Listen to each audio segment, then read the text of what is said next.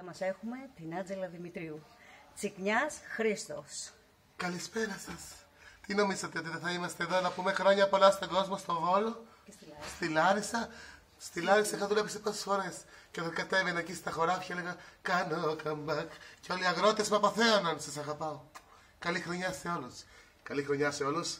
Με αγάπη, υγεία και ευτυχία.